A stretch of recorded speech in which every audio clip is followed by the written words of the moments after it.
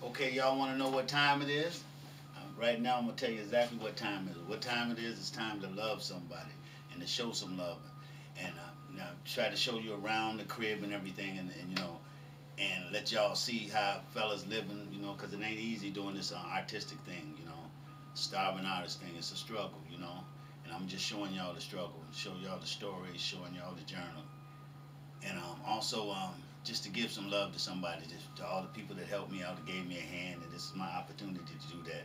Thanks my mom, my kids' mamas, and everybody else like that, you know, that was, you know, believed in me and stuck with me. So this is what I want to do, and, and a couple of people that, that like the music too.